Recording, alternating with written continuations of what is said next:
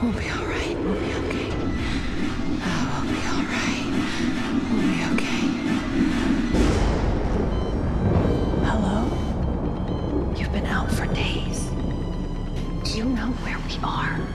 Do you know what happened to us? Morning. Hello.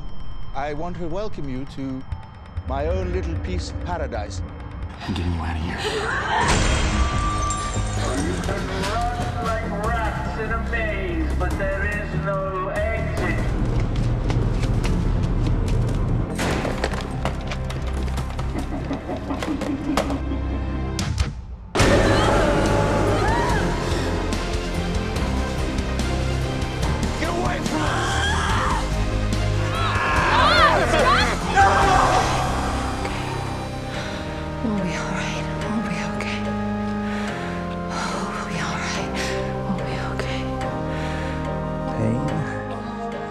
means you're alive.